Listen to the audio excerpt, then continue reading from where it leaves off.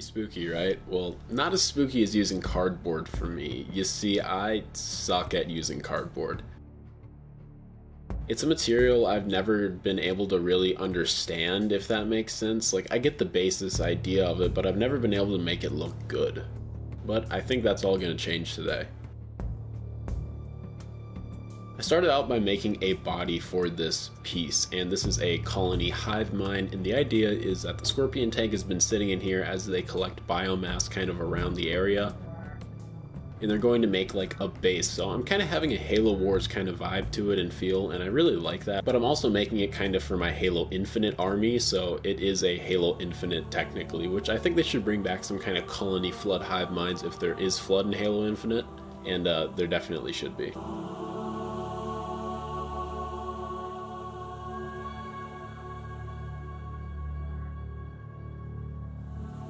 So I started with the roof here with a piece of cardboard and I'm using a lot of tape and hot glue to stick this thing together.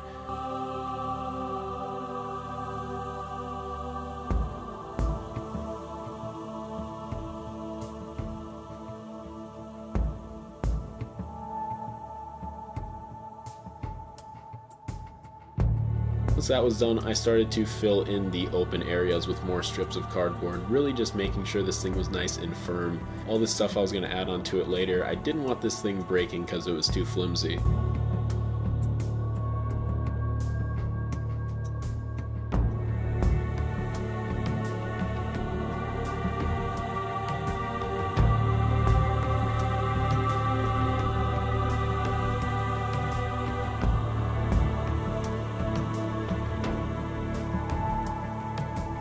Once that was done, I started applying a ton of duct tape to it, and I mean a ton.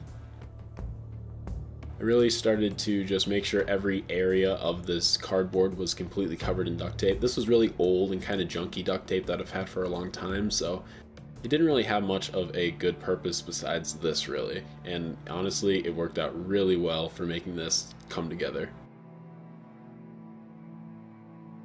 Then I got rid of the support straps that I added earlier, which is just some pieces of cardboard and tape, and now it is holding the Scorpion tank. I moved on to some styrofoam because I needed to make the little light slash pores kind of looking things on each side.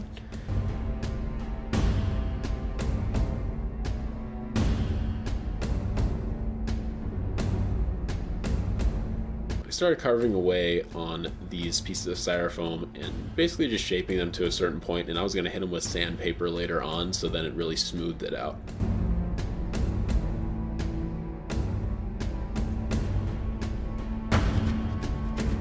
Once I was done carving it, I attached it to the side. I also added some duct tape around it so it would be more flush to the actual other part of the colony hive mind. I made quite a few of these.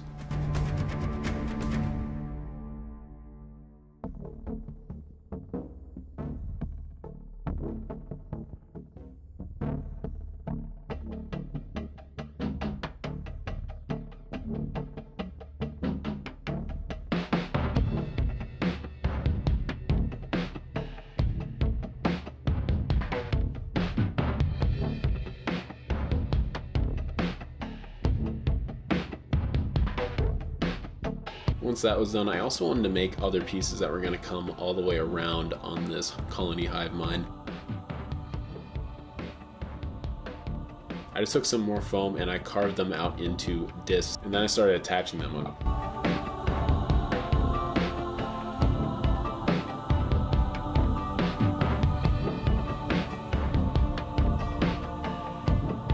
Now, I made probably about 8 to 10 of these, I think, maybe a little bit more. This added a lot of detail for not a lot of work.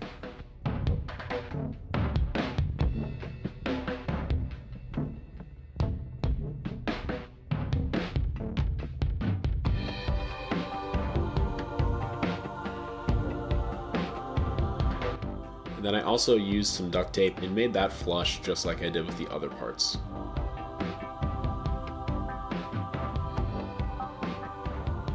Once that was done, I took some sandpaper and very lightly just brushed over it. I just wanted to get rid of those harsh edges and make it more smooth so when I painted, it just looked a little bit more organic.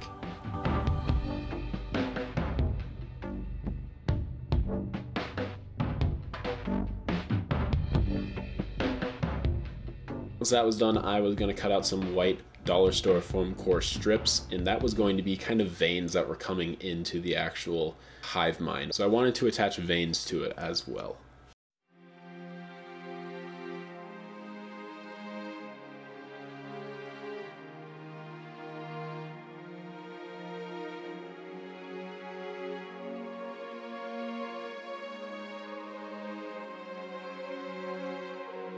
Then I covered it up with tape just like I have before. And I made quite a few of these all along the actual body of this.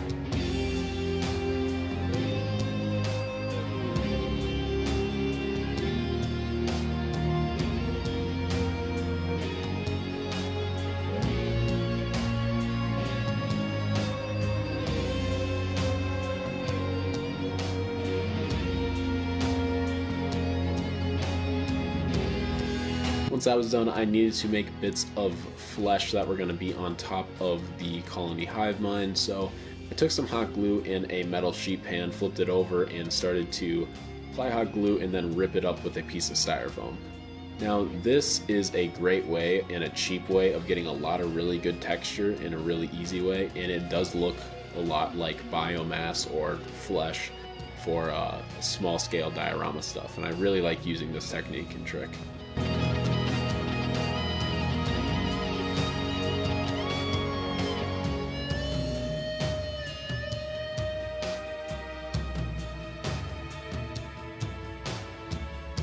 Then you can just rip it right up.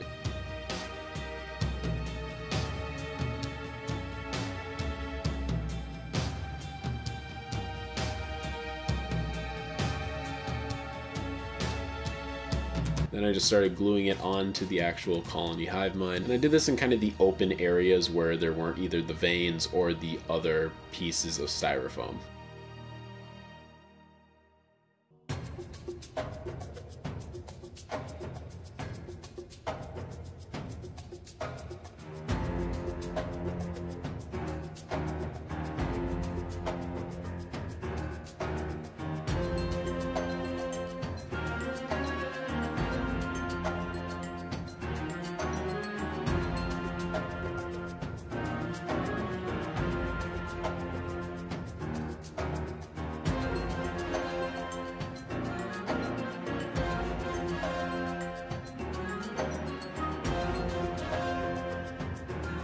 Once that was done, I applied a ton of kind of paint that I didn't really ever use and just really tossed it around on this thing.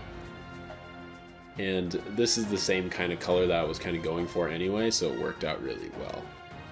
Added about one coat of this, and then I added one coat of a different color later on.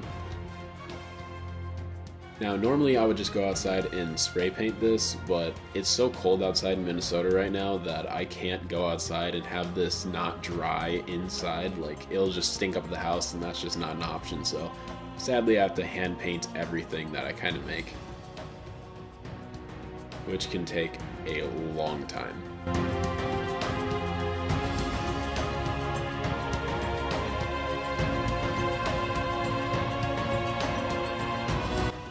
I needed some Liquitex gel to make more of this floody texture, and this is something I've used so much lately, and it is amazing. I find this at Michael's, and then I'm just using some craft paint to mix it up and uh, give it that nice floody color.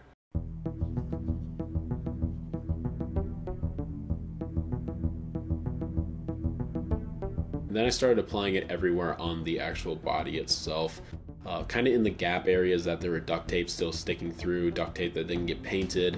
Really kind of just went around and took my time in finding all the spots that needed this for later on when it actually gets ripped up and it looks really good for flood texture. and then you just take a paper towel and you can just kind of pick at it and it has an amazing texture in the end. So I did that all the way around this hive colony.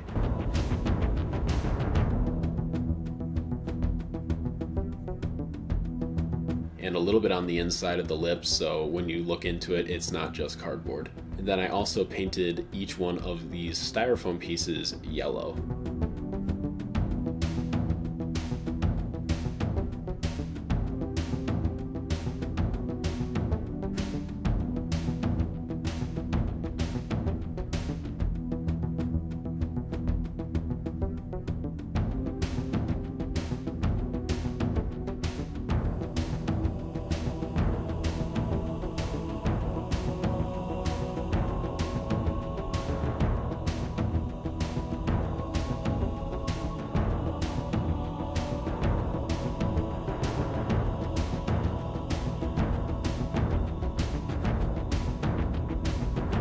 Then I just applied some black wash on top of everything to really darken it up because it was just way too bright. And this changed the entire look of this flood colony into something way nicer in the end. And because of this black wash is the reason it looked the way it looked in the end.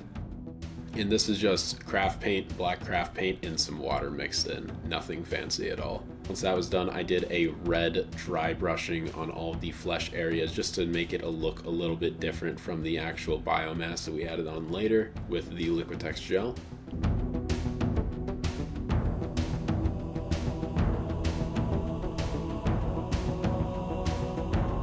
And I added that all the way on every flesh area.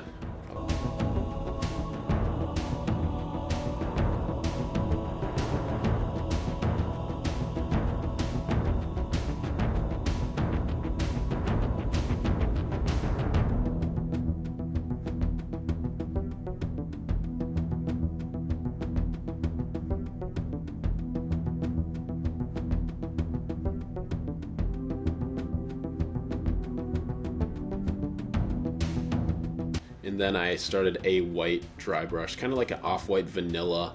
And uh, this looked really crazy in the end. I really like how this turned out, and it gives it this just weird shiny effect, and also like the layers start to stack up with the dry brush, the red, the, the wash, the original color. It just makes it look like it has a lot more detail, and it gives it a little bit of a moldy look, which I really like for the flood.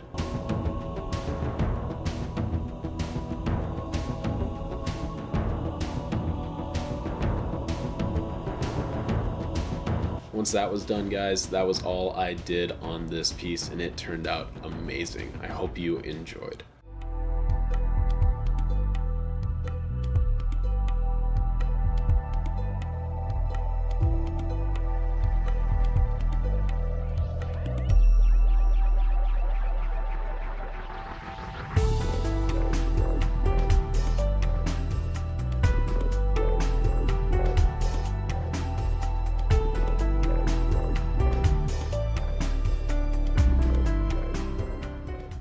Alright guys, so here is the Flood Colony Hive Mind. Now this was a interesting project and one that I wanted to use a material that I'm not very good at and that's cardboard. Now I am not good at using cardboard at all, but I figured it would give me a really nice structure in base to the actual Flood Colony thing itself and uh, I thought it turned out pretty good. It definitely looks flood-esque in like my flood kind of material and style. I don't really know how I feel about this big lip in the front. I think that kind of makes it look kind of like an igloo, but at the same time. I think it works pretty well. The idea behind that was just so I can fit in my scorpion tank. Here, let me get a better angle for you.